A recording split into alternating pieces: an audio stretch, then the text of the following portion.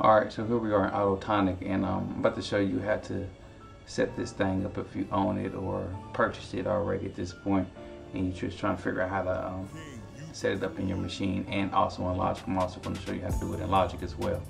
So uh, first thing you need to do is, like I said, um, once you purchase it or whatnot, of course, you want to take these steps here. You want to go, this is all on the Mac.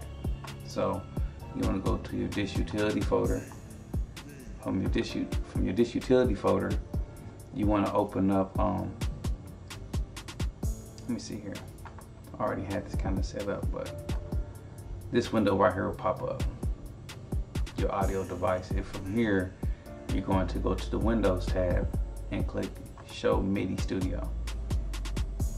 From there, you'll click the IAC driver, which is this red one right here. You'll double click that and it'll pull up this window right here. Now this window right here by default, this wouldn't be checked. You want to check that. You can name your device and also you can rename it down here as well and then just hit apply. I've already have this uh, set up so I ain't got to do all that. So once you do that, what you're gonna do is come to your Maschine preference and go to MIDI. Now the reason why you want to do this is because once you open up the app Autotonic, and by default it's going to have all your uh, MIDI devices in right here. And so um, I don't know by default where it would probably sit at, but if you uh, if you have the Komplete Kontrol keyboard, you want to select that, or any other keyboard that you may have, you want to select your keyboard on the input and on the output, you want to select the uh, ICA, my bad, the IAC driver Autotonic uh, bridge for your output to be able to get that going. Now, when you do this, you can see, you actually can hear that it's, it's kind of like hitting double keys. And to keep it from doing that, what you're gonna have to do is go into Maschine preferences, MIDI, and then deselect the Komplete Kontrol keyboard or your uh, MIDI device that you want to play keys on, whatever your key, uh, your keyboard, your my bad, your keyboard uh, MIDI controller is. You need to deselect it as the uh, a MIDI controller because at this point, um, the Autotonic is actually going to be your virtual keyboard, so everything will be implemented through that, and then to your uh, choice of DAW. So that's why I said it can work in any DAW um, on the market. So.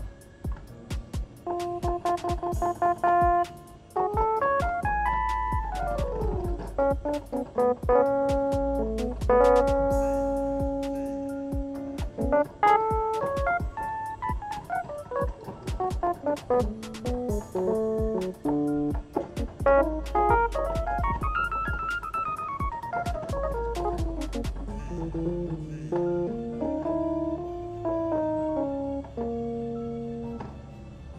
that's how you do it in Maschine.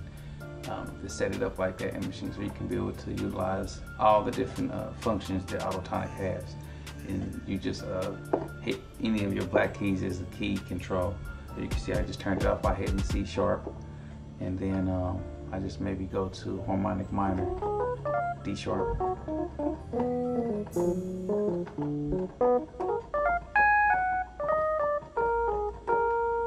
And actually this doesn't have to be in the front no more at this point. You can kind of put that back behind Maschine.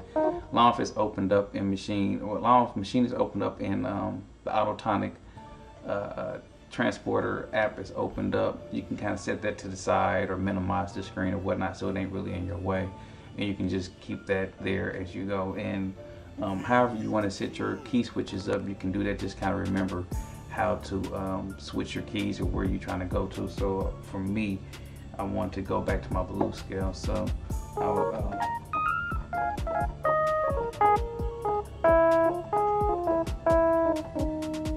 so in that, I'll just hit D sharp and um, I'm there. That's where I have the, uh, the blues uh, minor scale set up on uh, as a key trigger. So uh, let me go ahead and show you how to do this in Logic.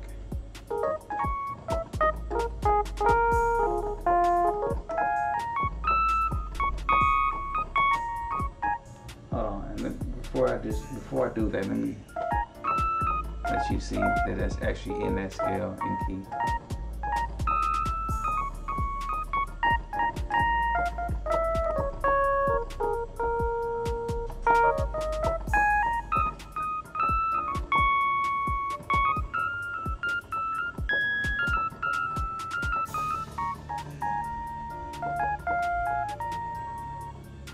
Okay, all right.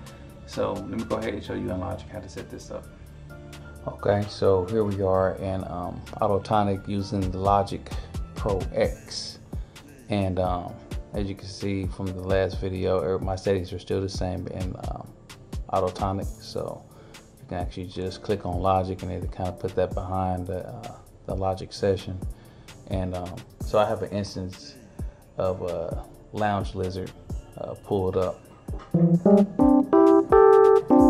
And as you can hear, it's uh, playing double notes and logic.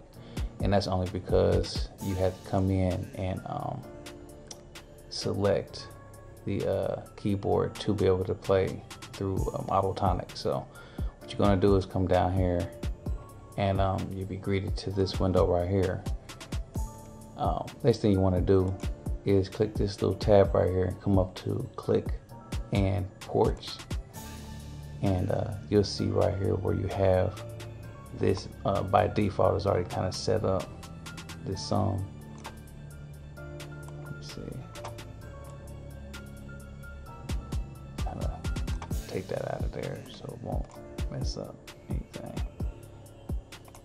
Okay and then you want to go to your Komplete Kontrol or any other MIDI uh, controller that you may have, a MIDI keyboard controller that you have, and then plug that in.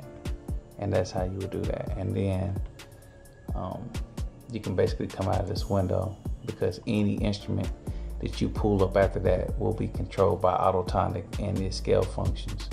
So um, let me pull that back up.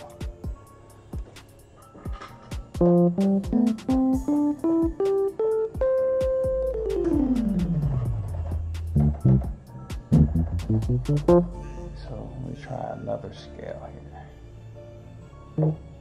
Try this this A sharp.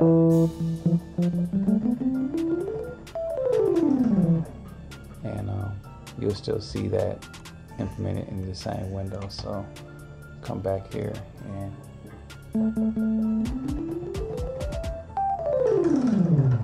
all white keys but here in Autotonic it automatically uh, transposes your keys to the right key. Um, so yeah, let me pull that back up again. Okay. See. So the top half of it is actually the uh, correct key plan and the bottom half is where your key triggers will be at with the black notes and all you'll be using all white notes to uh, trigger sounds in your notes through and um, you can assign these like I said in the first video, um, you can assign all your black keys to different scales and keys um, and then lock them in. Your uh, root note key and then your scales, you can lock them in. So then you can um, always kind of use them and have fun and create uh, hits. So this your guy King David, Trap Monster, TrapMonster.com. Don't forget to subscribe, like, and share the content. Peace.